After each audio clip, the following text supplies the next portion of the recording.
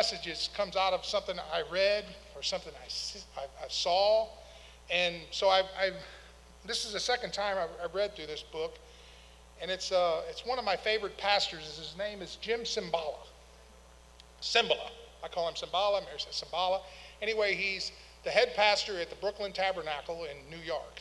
And uh, if you ever read any of his writing, any of his books, he's a man. This guy has simple means. He's not been to seminary. He's led by the Holy Spirit. And uh, he wrote a book called Spirit Rising. He's also uh, there's three other books: the Fresh Wind, Fresh Fire. And and what's what I love about these books, it it talks about and he he it gives you testimonies of transformed lives, people that were that you would think that were they didn't have a chance in life, but they've, they've the Spirit of the living God has transformed them. And uh, so I want to talk about that. And, and you don't hear much preaching, and we do. Joe touched on it when he touched on his message of rest for your soul. Well, the only way to have that rest for your soul is when you, you press the flesh and all that other stuff down and you, you depend on the Spirit. You know, and, and what is that Spirit? Who is the Holy Spirit? You know, Josiah had a song, the second song, the Father, the Son, and the Holy Spirit, the three in one. And I'm going to I'm going to share with you what Cymbala says in his book of who the Holy Spirit. Who is the Holy Spirit? Because I've been to a lot of churches where they say the Holy Spirit was there, and there's a lot of crazy things happening. You know, this day and age, we talk about being filled with the Holy Spirit, and people are, we laugh and run the aisles, and some people do. Some people, you go to some churches, they get slain by the Spirit, and, and I'm not discounting being slain by the Spirit at all. Don't get, I've never had that happen to me, but I, there's a lot of things that I haven't had happen to me that others have experienced. But there's some crazy things, and it kind of, kind of we push back, and we kind of get scared about that. But what I want to look at today is, is what we're going to look in God in the Scripture and what Jesus says about the Holy Spirit, because that's the truth and what I believe in is what God's word. As a matter of fact, we'll go on to say it's, it's the spirit of truth. And the spirit of truth, which is the Holy Spirit, everything you get is going to line up with this, with God's word. And it's, it's not difficult to understand. You don't have to be a, a seminary scholar or theologian. And I've been a, a, a matter of fact, there's a spirit filled man standing in the back of the church that's not had a lot of training, but boy, I've heard a lot of great messages yeah, he's he'll, he'll come around. He's also humble, you know. So, but, but praise God, we're going to look at that. But let me tell you what Cymbala, Cymbala says. He says, he goes, the Holy Spirit is a real person. Did you know that? The Holy Spirit is a real person. It says, the third and co-equal member of the Trinity. We all we know about Jesus. We know about God the Father and the stories about God the Father. Jesus the Son, he walked on the, on the, in flesh, he walked on the face of the earth. Well, co equal to that is the Holy Spirit. It's the three in one. The Holy Spirit is real, there's no getting around it. That small voice that you hear, if you're a believer, a born again believer in Jesus Christ, when you're doing something you shouldn't be and and there's something speaking to you, there's something welling up in you that you know it's wrong, well, guess what? That's the Holy Spirit speaking to you. And it says, so he's the co equal member of the Trinity. Though he is often overlooked or perhaps even neglected by many 21st century Christians, he is just as divine as the Father and the Son. And you can look that up in Acts chapter 5, 3 and 4. And he said, Consider these facts. And I'm going to give you some scriptures. You can look them up on your own. But uh, he said, He possesses a divine personality and personally chooses people for ministry assignments. Yeah, because he's, he's, a, he's an advocate, he's a helper. He exhorts us and he, he assigns us, we, he, gives us what we need to do and equips us of what we need to do. He communicates with us, and, and you can find that in Acts chapter 13, verse 2, to back what he just said up in that scripture. He said he communicates with us in Revelation 2 7 and searches out the deep things of God to make them known to believers in 1 Corinthians 2 9 through 12. He is the one who makes Christ a living reality to the believer. Ephesians 3 16 through 17. And in fact, he's called the Spirit of Christ in Romans 8 and 9. And that's in my message. We're going to look at that piece of Scripture. We're going to have a little fun with that piece of Scripture here this morning. And it's okay to have fun in church. I mean, it's okay. And it says he is co-equal with both the Father and the Son as part, the, as part of the mystery of the triune God.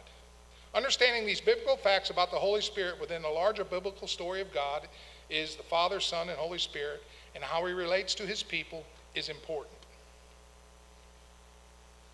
So let's look at that. If you want to take the, the text today, first of all, let's pray. Let's pray.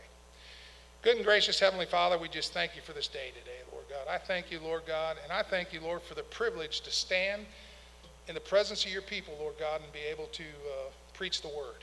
Uh, Lord God, that, that is a privilege, and, and Lord, I don't take that lightly. So I just pray, Lord God, for your divine intervention this morning, this Father. I don't want anybody to hear from me, Lord, because you know I'm just a fool. I'm just a tool. So, Lord God, I just pray, Lord God, that uh, everything I say up here, Lord God, lines up with your word. And, Lord God, it's not misunderstood. And, Lord God, it changes lives, Lord God, because only your word can change lives, Lord God, and transform lives, Lord. As we're going to look at that in your word today, Lord, and we just praise you and thank you and pray in Jesus' name. Amen. So I went over to, to uh, John chapter, the Gospel of John.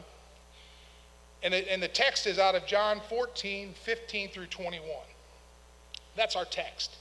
But for me to, for, to, to understand the text and what Jesus is talking about, you kind of have to back up. You got to go back in 13, 14, up in 14, and read a little bit beforehand. Because I always tell people all the time if you're studying God's Word, don't just pick a piece of Scripture and say, "Ooh, that's what it is." I call it. It's. I always go two or three chapters before, two or three chapters after. That way, we got the context of the, the message of, of what's going on in the scripture. You always need to know what the context, because we're bad about taking a piece of scripture out of there and saying, brother, this piece of scripture is for you. And it's really, it's, it's, it's, it's not what God's trying to say there in the context of the scripture. And it's, it's very important to do that. And there again, you don't have to be a theologian to do that. You know, it's, it's, it's very easy to do that. You know, there's a piece of scripture, and, and, and I've used it before in the Old Testament. Uh, I should have looked it up, but it says, it's by his stripes that we were healed. Well, and we are, we are healed, but some people take that by his stripes we are healed and use that as a, as a physical healing. Well, no, in the context of that scripture, it's, it's the blood of Jesus Christ that healed us so we could be born again. But it's, it's also, so we got to understand our, the, the context of the scripture. And what's happening in the context of this scripture right here is, is Jesus is, this is before his, his, he's going to be persecuted, he's going to die, he's going to, there's a lot of things that are going to happen to these disciples, and he's trying to get them ready. So in chapter 13, if you start in chapter 13, the first teaching, he's, it's about Jesus washing their feet. Well, here's a message here. He's going to teach them a message about being a servant of being a, a, a, lowly servant in those days, you know, to be washing his Jesus' feet. You know, that's what he's teaching his disciples. How many in here is a disciple of Christ? I see a lot of hands going up. So I believe we probably got a lot of foot washers in here. Understanding that, have you ever had your feet washed by somebody in a church? I have. It's a moving, it's, I remember Pastor Bruce doing that to me and I'll tell you what, it just brought me to my knees. It's a humbling experience, and but it's it's a very, very, very good teaching tool about that of humbling and, and what a servant looks like and what a servant is to be. And it's not just about washing feet. It's about that that person that's in the gutter that might be drunk, that's having a rough time and a rough go in his life. It's about going and picking that person up and helping. You know, that's washing feet. There's a lot of ways we can wash feet. Operation Christmas Child, we can wash feet. That's what it's all about. That's the message there. So he, he's teaching them this message. And then he goes on, he, he, starts, he starts telling them about his betrayal. The, the betrayal of, of what's going to happen to him. And you know, these guys are having a hard time with it. They're having a hard time of it. They don't, they truly do not understand to that point what's going to happen to Jesus. And he's well, what is he doing? He's trying to prepare. He's, he teaches them about his prayer, he predicts his betrayal. Right after that, he goes straight to Peter, tells him he's going to deny him. Can you imagine how hard that was for Peter to hear? You know, Peter was the one that said, You are the rock, you're the Son of God. That's who you are. But Jesus has to tell him, You're going to betray me. You're going to betray me, Peter. You're going to, when, it's, when it all comes down, and, and I can't even think about what Peter was going through because what, that was been tough. So he goes on to there. He, he, he predicts his denial. Then he says something to him. After that, he says, he gives him a new command. Anybody want to take a guess what that new command was? He says, I give you a new command I give you love one another as I have loved you. So you must love one another. By this, them loving one another, everyone, everyone, a fan got me. It says, by this, everyone will know that you are my disciples if you love one another. That's a new command by Jesus. Seen a lot of hands, the disciples, a lot of disciples here. How are we going to know if we're disciples of Jesus Christ? By loving one another. It's a simple concept, but it's hard to do sometimes. Matter of fact, there's times when, uh, I hate to say this, but my wife can be my enemy. Because we have, we're in a, a heated discussion, but that's no reason not to love, you know. And there's times, there's, there's, it's, it's easy, like I said, to love y'all here, but it's hard to love all the time.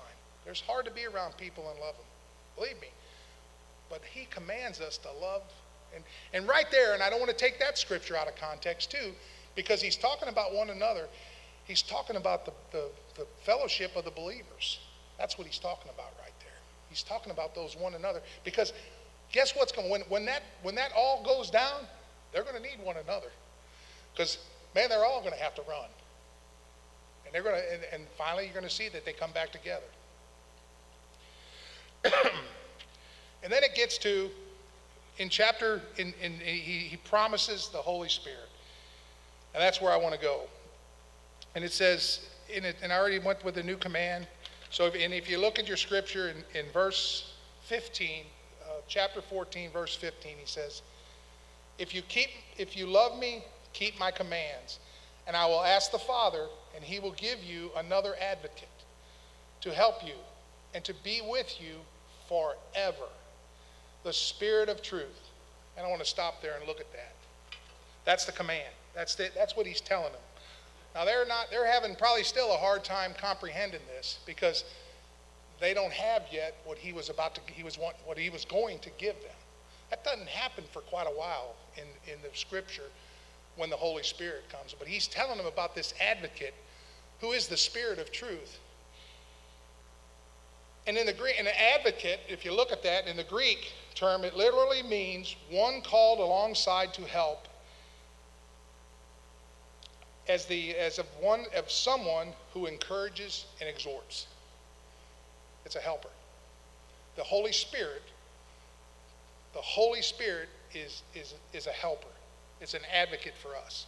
It's an advocate for the believer, the born again believer. We have the Holy Spirit. Because remember, Jesus said, when I'm, I'm going somewhere, and he says, even, he tells them, I'm going to send one something better than Jesus. Better than I, he says. It's the Holy Spirit. That's what the Holy Spirit is, and that's who the Holy Spirit is. We, we hear it all the time, you know, we, we receive Jesus as our Lord and Savior and, and, and we even we, we look at it in Christ in us.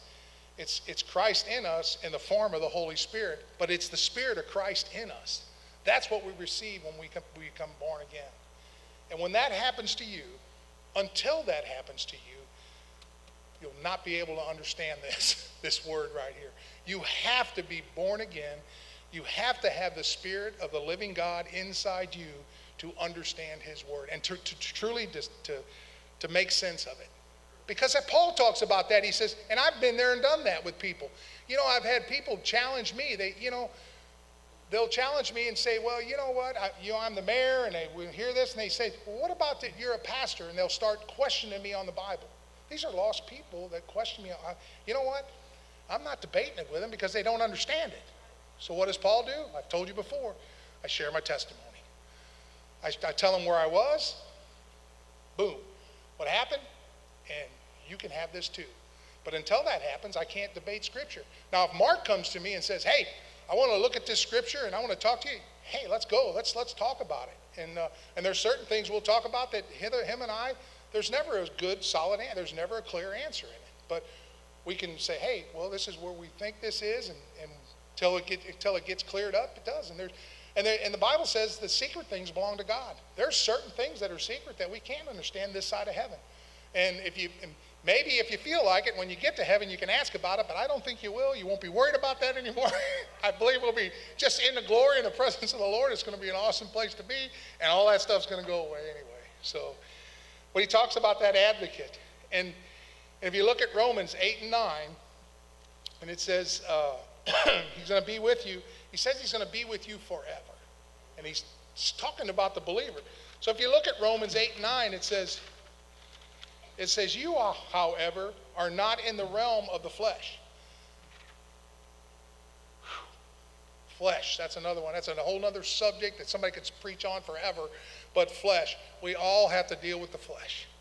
It's just this side of heaven, you have to deal with the flesh. You know, there's no getting around it. And now, what's in the flesh?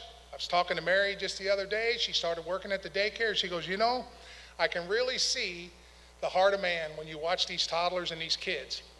Because they are, some of them, Jan and I were talking about it, children today.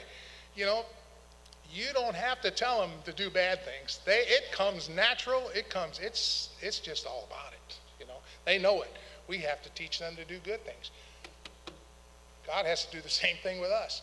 You know, this process we're on in sanctification, it's, it's a process. It takes time. But we, we, we move forward in the spirit of truth.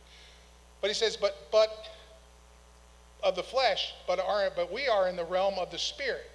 If, put my glasses on. If indeed the Spirit of God lives in you, if the Spirit, if you're, if you're here today and the Spirit of God lives you, and if anyone does not, if the Spirit of God lives in you, and if anyone does not have the Spirit of Christ, they do not belong to Christ. So that we have to ask a question. How do I know if I have the Spirit of Christ in me? Anybody want to try it? You can go over to Galatians in 5, 20, 5 22 and 23. Brother Mark, will you come up here? Here's where we're going to have a little fun. This man confesses to have the Spirit of Christ in him. He said, he told me that. You know, I, be- I believe he's a believer. Stand right there. Is Carla here? Very good. Now we're going to see if he's got it in here because we're going to check his family right there in the, the third row there. Because I'll tell you what, when I want to find out a man's circumstances and what's going on, I go to the house. If somebody wants to know something about Paul, visit with Mary or come live with us. Then you really get to see about it. That's it. you're, you're more than welcome. So if he, he possesses the Spirit of Christ, which I believe he does because I see all this stuff play. He's not perfect. I'm not saying he's perfect, but I, the fruit of the, for the, so the, the fruit of the Spirit transform us all. I pray to receive Jesus as my Lord and Savior. I submit to him as Lord and Savior. Christ in me, the hope of glory. That's my ending, but not right now. So but he has this because 2 Corinthians 5:17 says anyone in Christ is a new creation. The old is gone, the new has come.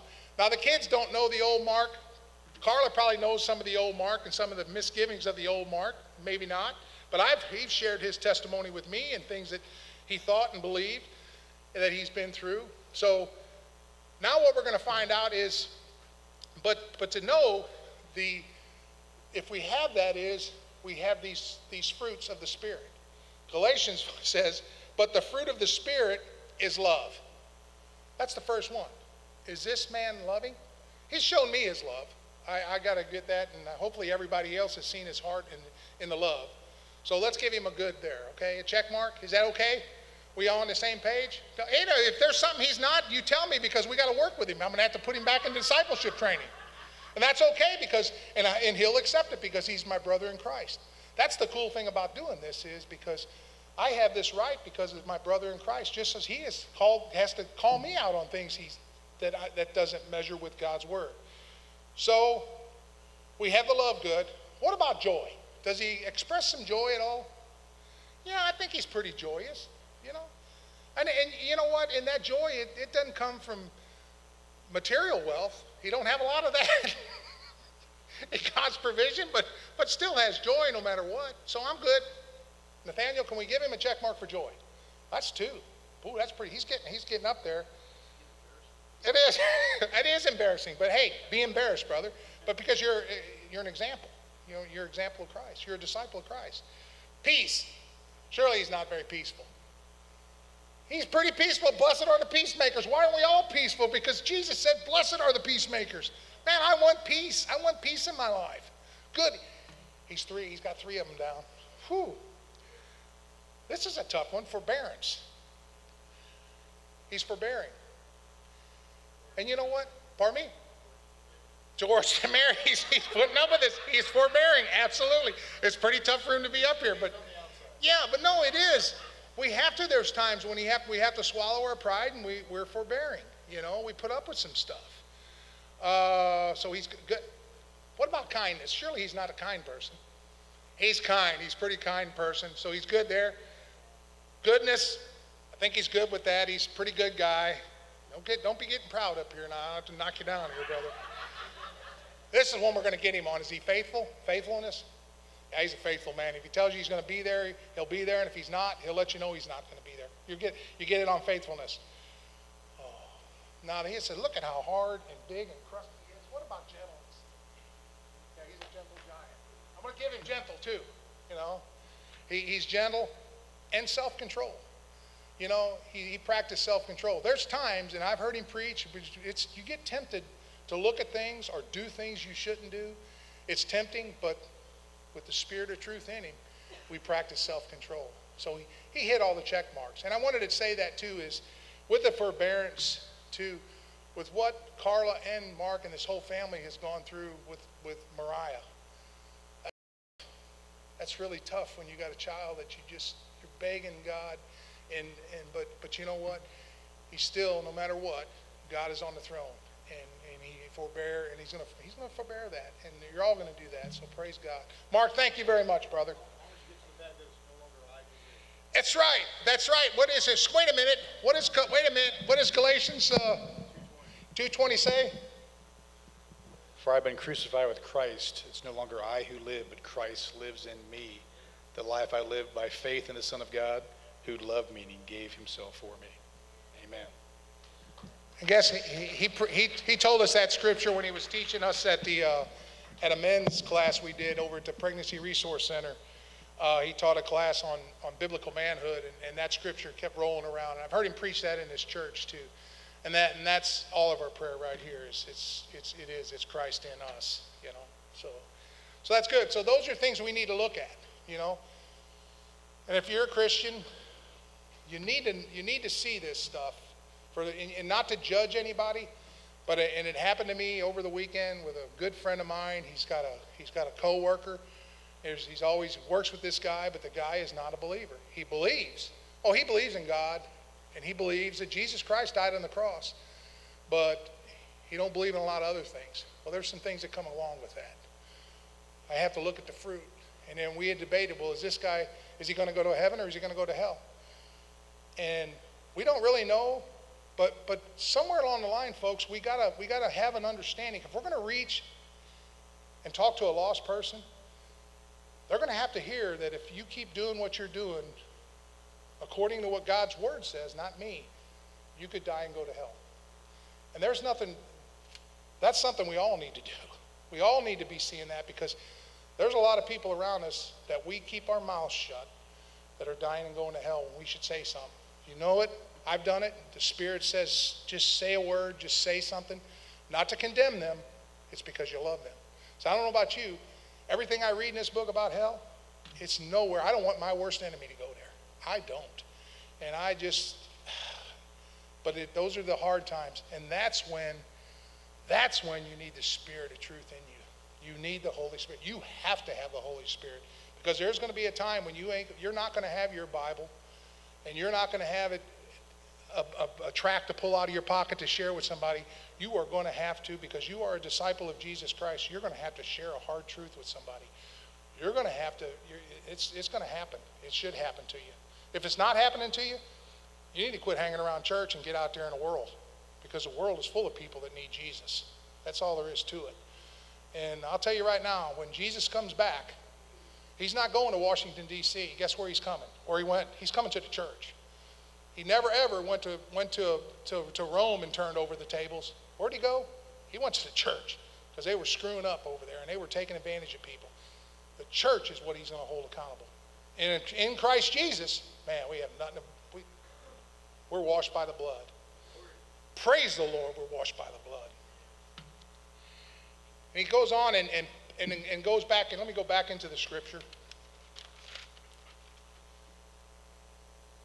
I like that forever and the, and the spirit of truth. And let me, let me hit the spirit of truth. And it says, the Holy Spirit is the spirit of, is the spirit of truth.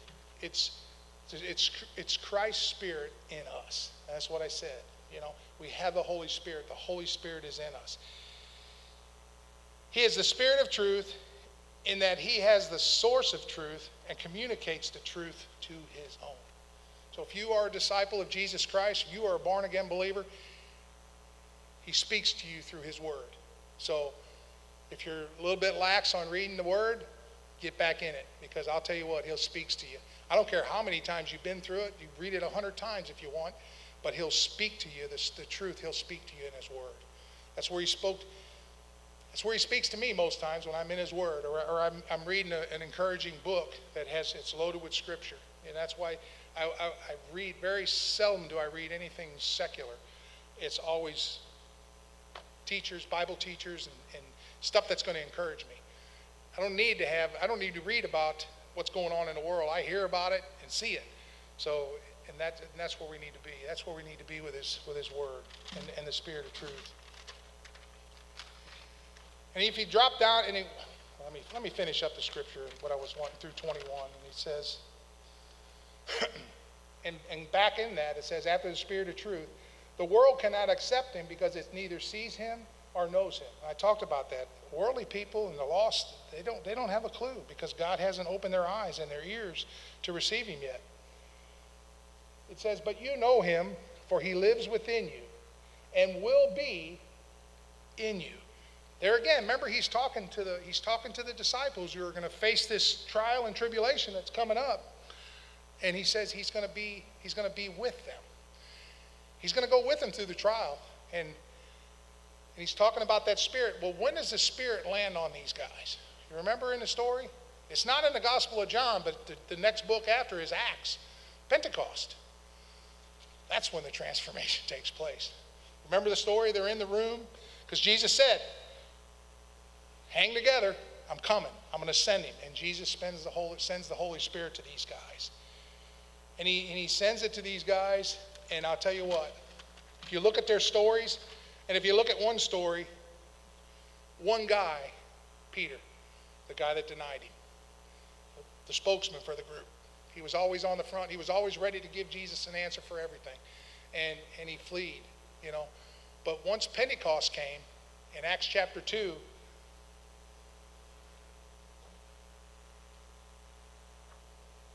me read what he says about Peter. This is when the Holy Spirit came and Peter took, took note of it and was filled. It says, Perhaps the best way to understand what Jesus meant by saying it would be better for the disciples after he left, we talked about that. He was going to send this advocate to look at, at the life of Peter.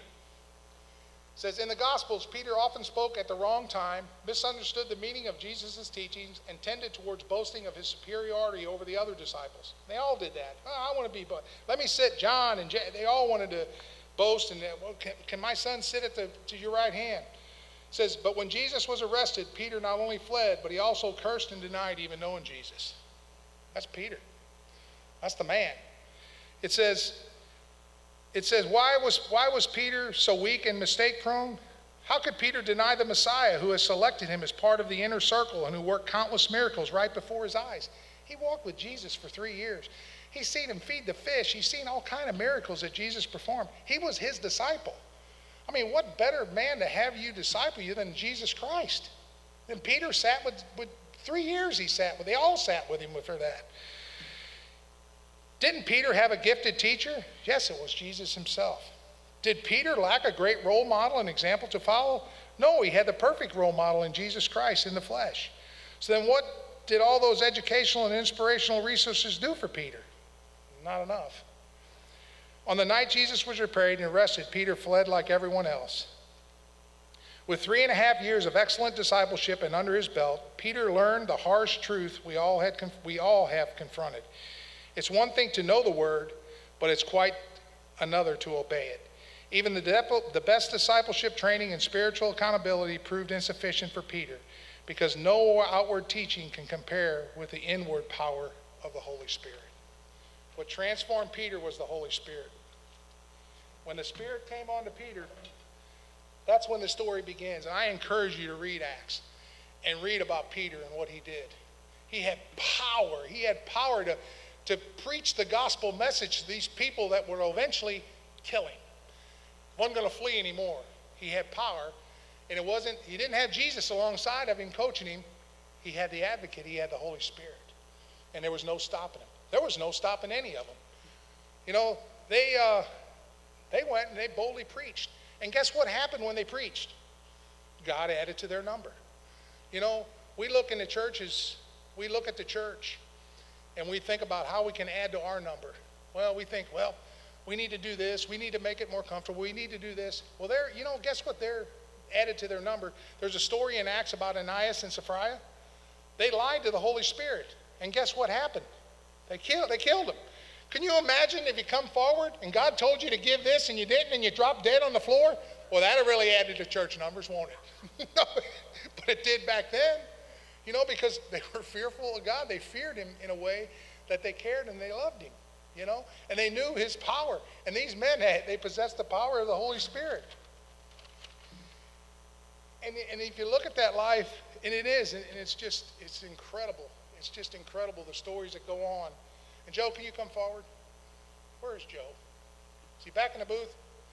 He had said he wants to play a song at the end, and I appreciate that because I hated to even come up here and preach. I was so encouraged by the worship, and uh, I'm still on. But uh, I look at the I look at the power of the Holy Spirit, and I'll tell you what I I want to move in the Spirit. I'm going to move in the Spirit because there's no other way. There's no other way is not to move in the Spirit and have the Spirit of God in you. And it's and it's and it's something you have it. If you're a born again believer in Jesus Christ, you have it. But sometimes we, we push it back because we get we get a little bit fearful. And and that happens. You know, it's a big cruel world out there.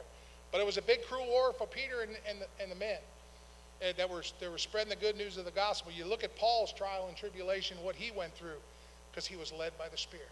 He, he, had a, he had a visit with the Lord Jesus Christ and was changed. What changed about Paul was his, his mission. Paul was always a worker. He, he worked for God in the beginning, and then Jesus transformed his life, and then he sold out for the Lord Jesus Christ and went through a lot of trial and tribulation. And that's where I want to be. That's my hero in the Bible is the Apostle Paul, and I do I read a lot about him, and and and his his faithfulness and everything we talked about there. And, and Paul writes, in, and to close, in, in, in Colossians 1.27, Paul writes, To God, to God, to them God has chosen. Born again believer in Jesus Christ, God has chosen you. God has, God has laid it on, God has put it in your heart to be a follower of Jesus Christ. God laid it on your heart. You know, you're a disciple of Jesus Christ. You're born again. God has chosen them to mark, to make known among the Gentiles the glorious riches of the mystery. To those, it is a mystery. To us, it's a reality, which is Christ in you, the hope of glory. Glory be to God. Everything we do is glory be to God. Mark's the man he is today. Praise be and glory be to God. It's not anything he ever did. I put him up here. It's Christ in him. He, he followed up. He's a disciple of Jesus Christ. It's all about one word, two words really. It's submission and obedience. First of all, we have to submit. That's where we get a problem in the church, is, is the problem. Jesus, I want you in my life, but I'm not right, quite ready to make you Lord of my life. Because when you make him Lord, life changes. It's not I, but it's Christ. You know, that's the key. And the biggest issue and, and the hardest thing I've ever had with dealing with people that are that have messed up their lives is they're not willing to submit. They won't submit to anybody. They, sh- they won't submit to a boss at work. They won't submit. They've not submitted to their parents. They've not submitted to anything. They won't, and they will not submit to the Lord Jesus Christ. But when they do submit, when you give it all and you submit, I guarantee your life's going to change because it's when you're in submission. You are saying, "Here it is, Lord. It's not I, but you. It's no longer about me anymore. It's about the Lord Jesus Christ. What will you have me to do?" When anybody calls me and says, "How can I help you?" And that's what our can is. Lord, what's next? What do you go? I don't know what's next for Mary and I, you know, and for the first time in my life, I'm, I'm starting to think about what retirement's going to look like. You know, I'm not going to no longer probably go up the highway in about a year and eight months, Lord willing. But my plans aren't God's plans. You know, I, I got a plan, but it's got to line up with God's word and it's got to line up with God, what He wants, you know. And I see this time and time again. We make all these plans, but it might not be what God wants, you know. So I'm praying about that and pray for me. Pray for me and Mary, what, what's next for us in our lives, you know. And uh, I'm looking forward to it because I'll tell you what, lady, it's been quite a ride, hasn't it? it's been. The ride's not over, but I'll tell you what, it's been fun. I just, it's been trying at times, and it's been hard, but I'll tell you what, when you submit and you follow Him, it's not hard. It's just, it's just, here you go. And you know what? Just like saying, Lord, Lord, send me. And that's what He wants to do. He wants to send all of us. We live in a hard, hurt, and it's all around us, folks. And this is our Jerusalem right here, little St. Genevieve. You know what? And if you, you might not see much here, but go up to Baden and do some ministry up there. Go up to see Larry Rice at the homeless mission up there and see what he's going through. And you can see the hard, you know. And, and when we go to Africa, that's one thing I encourage you. You don't have to go to all the way to Africa to see it. You can see it in the United States. If you can get a chance to go to Mexico or some of these other places, that's what America. The problem we have in America is we've got it too good. I'll tell you, we got it easy, folks. Tell you what, we, we, we've got it made. You know what? And there's a whole lot of folks out there that are, that are living a, a rough life, you know, and, and we should have a heart for them.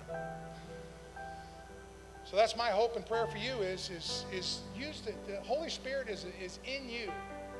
Use the Holy Spirit, the advocate that's with you. He'll never leave you. God, the word said he'll never leave us nor forsake us. No matter where you're at, you can be surrounded by your enemies. You pray, you cry out to God. He'll answer your prayer. He'll come to you. Or he'll take you home. And that ain't bad, all that bad either. I'm looking forward to the day when I'm going to be in heaven. Because guess what? This is not my home.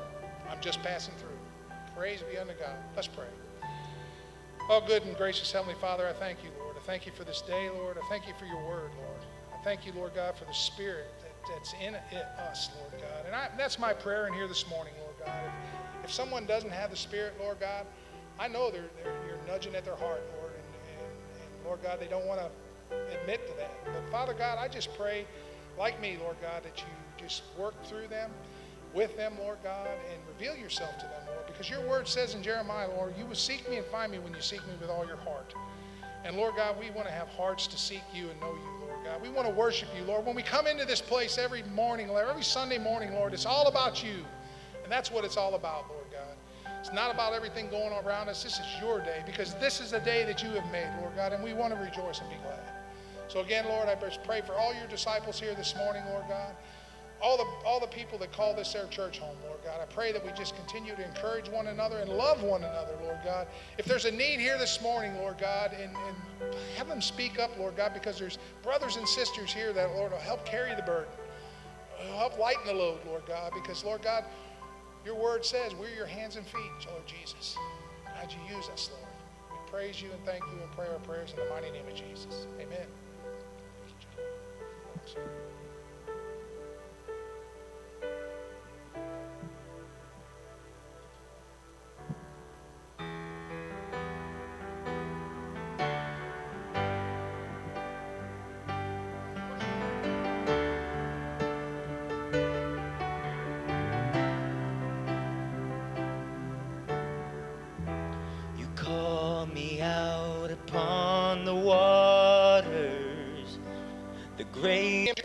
Christ. You're a disciple of Christ.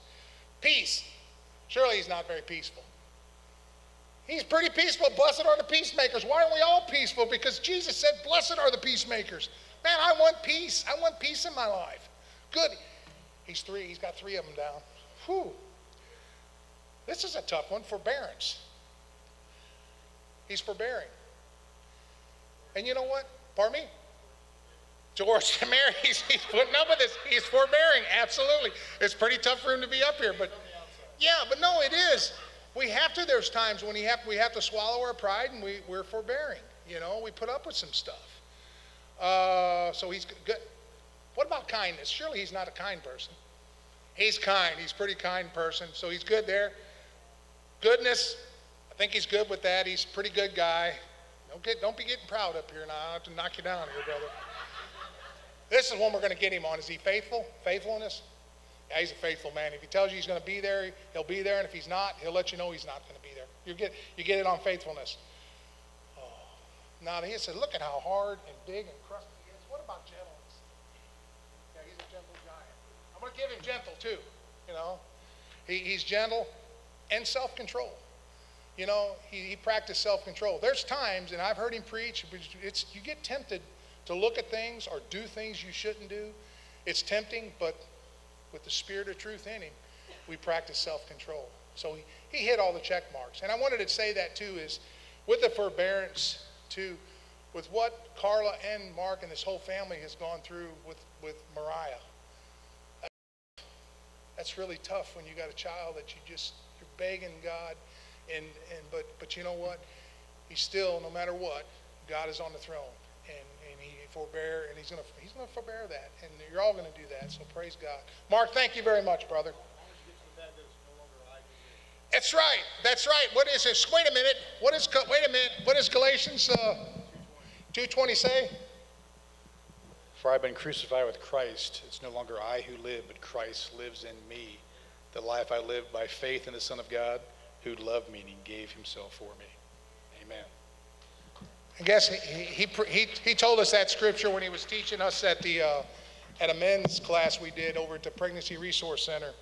Uh, he taught a class on, on biblical manhood, and, and that scripture kept rolling around. And I've heard him preach that in his church too. And, that, and that's all of our prayer right here is it's, it's, it is, it's Christ in us, you know. So, so that's good. So those are things we need to look at, you know. And if you're a Christian, you need to, you need to see this stuff for and, and not to judge anybody, but it, and it happened to me over the weekend with a good friend of mine. He's got a he's got a coworker. He's, he's always works with this guy, but the guy is not a believer. He believes. Oh, he believes in God, and he believes that Jesus Christ died on the cross, but he don't believe in a lot of other things. Well, there's some things that come along with that. I have to look at the fruit, and then we had debated. Well, is this guy is he going to go to heaven or is he going to go to hell? And we don't really know but, but somewhere along the line, folks, we gotta, we gotta have an understanding. If we're gonna reach and talk to a lost person, they're gonna have to hear that if you keep doing what you're doing, according to what God's word says, not me, you could die and go to hell. And there's nothing, that's something we all need to do. We all need to be seeing that because there's a lot of people around us that we keep our mouths shut that are dying and going to hell when we should say something. You know it, I've done it. The Spirit says, just say a word, just say something. Not to condemn them, it's because you love them. So I don't know about you. Everything I read in this book about hell, it's nowhere. I don't want my worst enemy to go there. I don't. And I just, but it, those are the hard times. And that's when, that's when you need the Spirit of truth in you. You need the Holy Spirit. You have to have the Holy Spirit because there's going to be a time when you ain't, you're not going to have your Bible and you're not going to have it a, a, a to pull out of your pocket to share with somebody, you are going to have to, because you are a disciple of Jesus Christ, you're going to have to share a hard truth with somebody. You're going to have to, it's, it's going to happen. It should happen to you. If it's not happening to you, you need to quit hanging around church and get out there in the world because the world is full of people that need Jesus. That's all there is to it. And I'll tell you right now, when Jesus comes back, he's not going to Washington, D.C. Guess where he's coming? Or he went, he's coming to the church. He never ever went to, went to, to, to Rome and turned over the tables. Where'd he go? He went to the church because they were screwing up over there and they were taking advantage of people. The church is what he's going to hold accountable. And in Christ Jesus, man, we have nothing. To, we, we're washed by the blood. Praise the Lord, we're washed by the blood. And he goes on and, and, and, and goes back, and let me go back into the scripture.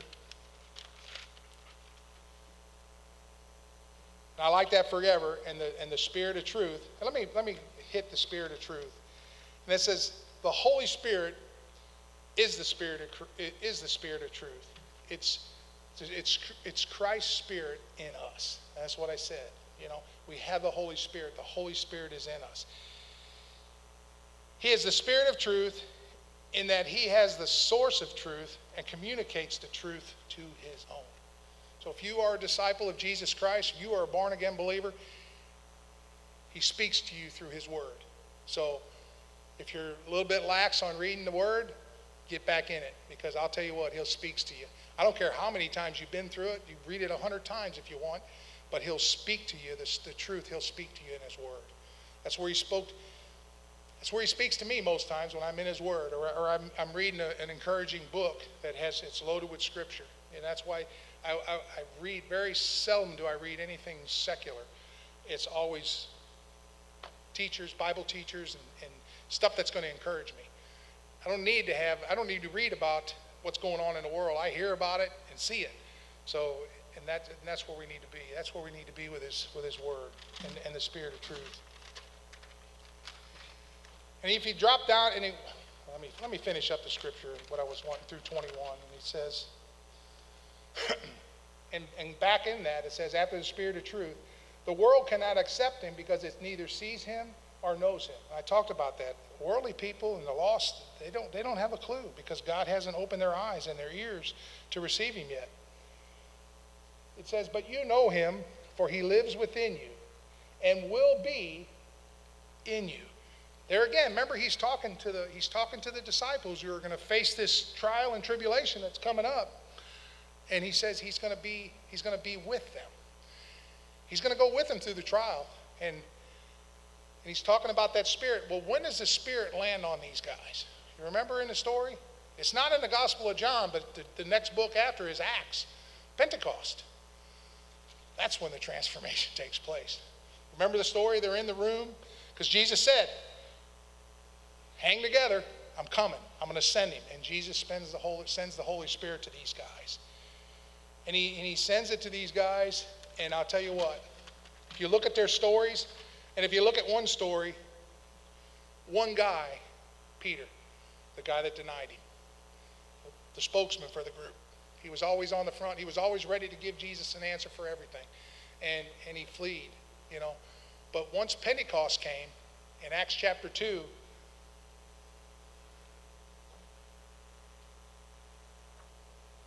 me read what he says about Peter. This is when the Holy Spirit came and Peter took, took note of it and was filled. It says, Perhaps the best way to understand what Jesus meant by saying it would be better for the disciples after he left, we talked about that. He was going to send this advocate to look at, at the life of Peter. It says, In the Gospels, Peter often spoke at the wrong time, misunderstood the meaning of Jesus' teachings, and tended towards boasting of his superiority over the other disciples. They all did that. Oh, I want to be, but let me sit. John and they all wanted to boast and well, can, can my son sit at the to your right hand? says, But when Jesus was arrested, Peter not only fled, but he also cursed and denied even knowing Jesus. That's Peter. That's the man. It says, it says, why was, why was Peter so weak and mistake prone? How could Peter deny the Messiah who has selected him as part of the inner circle and who worked countless miracles right before his eyes? He walked with Jesus for three years. He's seen him feed the fish. He's seen all kind of miracles that Jesus performed. He was his disciple. I mean, what better man to have you disciple you than Jesus Christ? Then Peter sat with, with three years he sat with. They all sat with him for that. Didn't Peter have a gifted teacher? Yes, it was Jesus himself. Did Peter lack a great role model and example to follow? No, he had the perfect role model in Jesus Christ in the flesh. So then what did all those educational and inspirational resources do for Peter? Not enough. On the night Jesus was betrayed and arrested, Peter fled like everyone else. With three and a half years of excellent discipleship and under his belt, Peter learned the harsh truth we all, had, we all have confronted.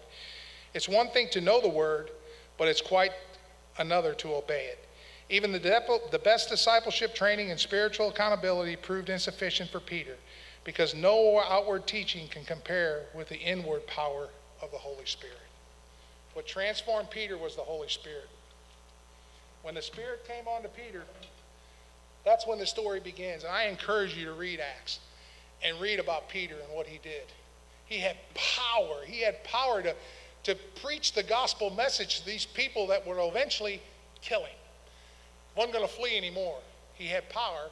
And it wasn't, he didn't have Jesus alongside of him coaching him. He had the advocate, he had the Holy Spirit. And there was no stopping him. There was no stopping any of them. You know, they, uh, they went and they boldly preached. And guess what happened when they preached? God added to their number. You know, we look in the churches, we look at the church, and we think about how we can add to our number. Well, we think, well, we need to do this, we need to make it more comfortable, we need to do this. Well, they're, you know, guess what? They're added to their number. There's a story in Acts about Ananias and Sapphira. They lied to the Holy Spirit. And guess what happened? They killed, they killed him. Can you imagine if you come forward and God told you to give this and you didn't and you dropped dead on the floor? Well, that'd really added to church numbers, won't it? no, but it did back then. You know, because they were fearful of God. They feared him in a way that they cared and they loved him, you know, and they knew his power. And these men, they possessed the power of the Holy Spirit. And, and if you look at that life, and it is, and it's just, it's incredible. It's just incredible the stories that go on. And Joe, can you come forward? Where is Joe? Is he back in the booth?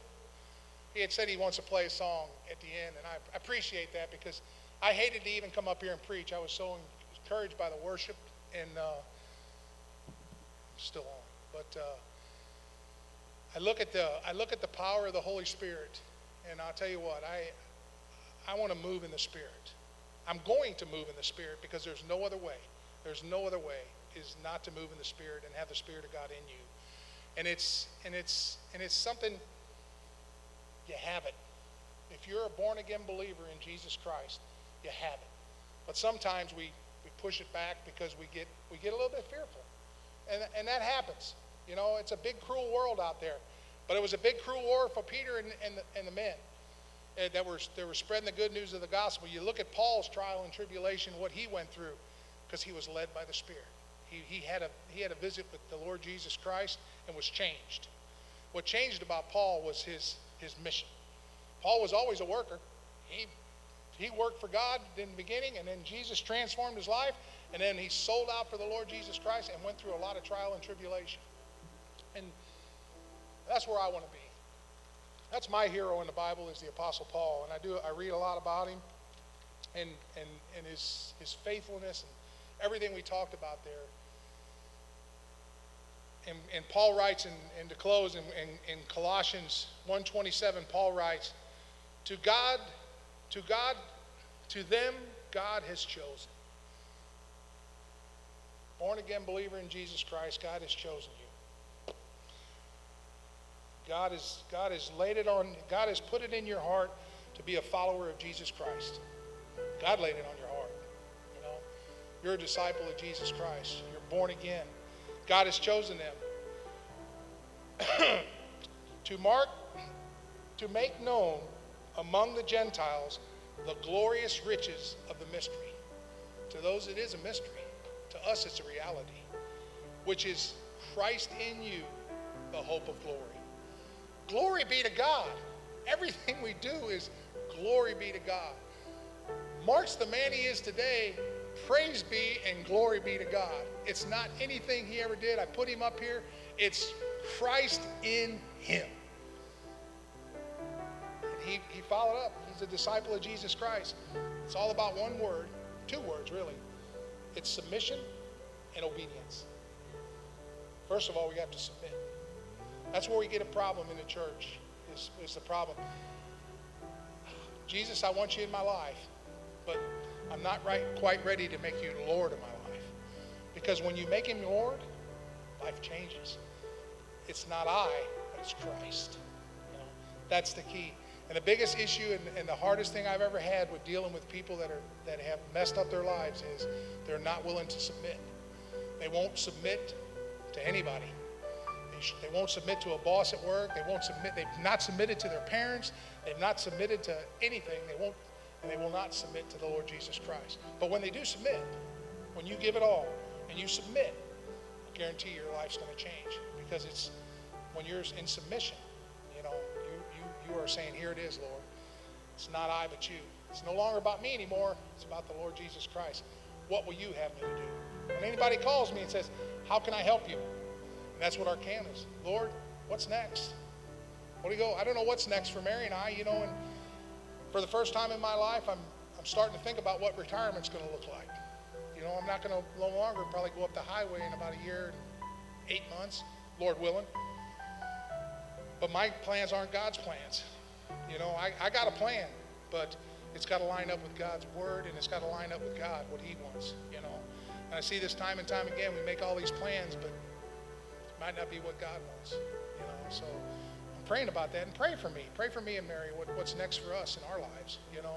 And uh, I'm looking forward to it because I'll tell you what, lady, it's been quite a ride, hasn't it? it's been. The ride's not over, but I'll tell you what, it's been fun. Just, it's been trying at times, and it's been hard, but I'll tell you what, when you submit and you follow Him, it's not hard. It's just, it's just, here you go. And you know what? Just like saying, Lord, Lord, send me. And that's what He wants to do. He wants to send all of us. We live in a hard, hurt, and it's all around us, folks. And this is our Jerusalem right here, little St. Genevieve. You know what? And if you, you might not see much here, but go up to Baden and do some ministry up there. Go up to see Larry Rice at the homeless mission up there see what he's going through. And you can see the hard, you know. And, and when we go to Africa, that's one thing I encourage you. You don't have to go to all the way to Africa to see it. You can see it in the United States. If you can get a chance to go to Mexico or some of these other places, that's what America. The problem we have in America is we've got it too good. I'll tell you, we got it easy, folks. Tell you what, we, we, we've got it made. You know what? And there's a whole lot of folks out there that are, that are living a, a rough life, you know, and, and we should have a heart for them. So that's my hope and prayer for you is, is, is use the, the Holy Spirit is, is in you. Use the Holy Spirit, the advocate that's with you. He'll never leave you. God, the word said he'll never leave us nor forsake us. No matter where you're at, you can be surrounded by your enemies. You pray, you cry out to God. He'll answer your prayer. He'll come to you. Or he'll take you home. And that ain't bad, all that bad either. I'm looking forward to the day when I'm going to be in heaven. Because guess what? This is not my home. I'm just passing through. Praise be unto God. Let's pray. Oh, good and gracious Heavenly Father, I thank you, Lord. I thank you for this day, Lord. I thank you for your word, Lord. I thank you, Lord God, for the Spirit that, that's in it, us, Lord God. And I, that's my prayer in here this morning, Lord God. If, if someone doesn't have the Spirit, Lord God, I know they're, they're, you're nudging at their heart, Lord. And, and, and Lord God, they don't want to admit to that. But Father God, I just pray, like me, Lord God, that you just work through them, with them, Lord God, and reveal yourself to them, Lord. Because your word says in Jeremiah, Lord, you will seek me and find me when you seek me with all your heart. And Lord God, we want to have hearts to seek you and know you, Lord God. We want to worship you, Lord. When we come into this place every morning, Lord, every Sunday morning, Lord, it's all about you. And that's what it's all about, Lord God. It's not about everything going on around us. This is your day because this is the day that you have made, Lord God, and we want to rejoice and be glad. So again, Lord, I pray for all your disciples here this morning, Lord God. All the, all the people that call this their church home, Lord God. I pray that we just continue to encourage one another and love one another, Lord God. If there's a need here this morning, Lord God, and, and have them speak up, Lord God, because there's brothers and sisters here that, Lord, will help carry the burden. Help lighten the load, Lord God, because, Lord God, your word says we're your hands and feet, Lord Jesus. How'd you use us, Lord? We praise you and thank you and pray our prayers in the mighty name of Jesus. Amen.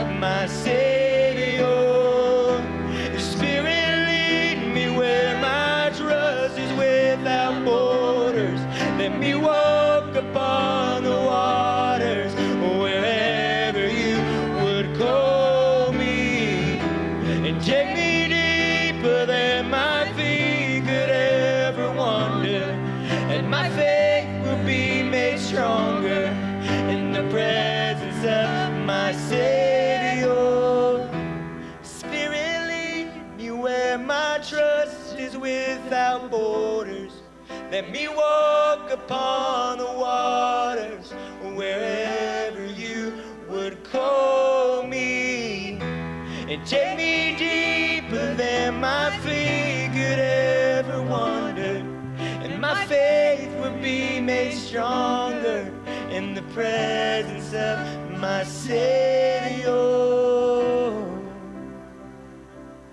Yes. I will call upon your name and keep my eyes above the waves when oceans rise. My soul.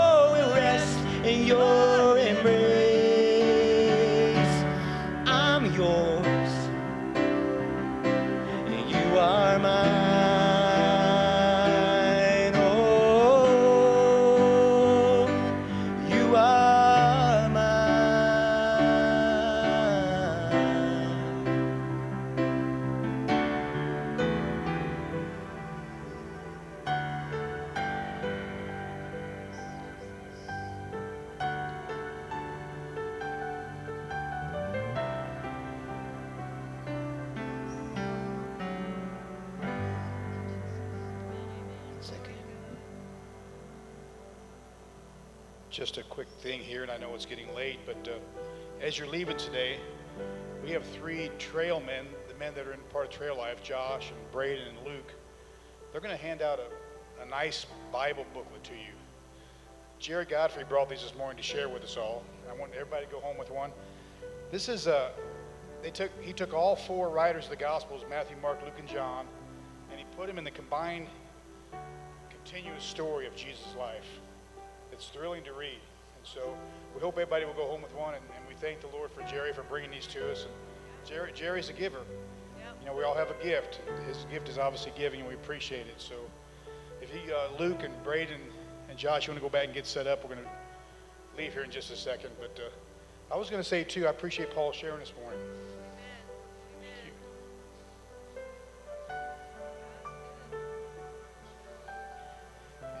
Go ahead, brother. Yeah, it's all right from the scripture, put into a continuous flow so you can just read the whole thing. It's kind of a neat idea. And the young man that funds this does it with his own money and he gives it out for free. And he's doing it all around the world. So it might make a good gift to put in our shoe boxes. So it might work for that. So, but as Paul was speaking, I remember when I first met with Paul and Joe, and I knew them for years before we came to church here, but I guess it's been about six years now. I met him out there and I said, I think the Lord wants me to, and my family to start attending church here. And his first response, without hesitation, was, Why in the world would you want to do that? his next, his next statement was, We're all dysfunctional here. you remember that? And I said, Well, I, we'd fit right in then. Because you know, don't you know, as you read the scriptures, Old and New Testament, God delights to use dysfunctional people. so if you're dysfunctional this morning, raise your hand and say, Amen. you qualify for, the, for re- being a recipient of the grace of God. Because then He gets all the glory. He gets all the credit for raising the dead, for bringing light to the dark, and for healing the crippled. Let's close in prayer together. Lord, we bless you for the word this morning, for your word. Lord, let it, let it change us. Let it be what you've intended to do, Lord. Your word does not go back to you void, but it accomplishes the purpose for which you sent it out. Lord, accomplish your will and your word, and help us to be light bearers and light givers today to those we meet. In Jesus' name, amen.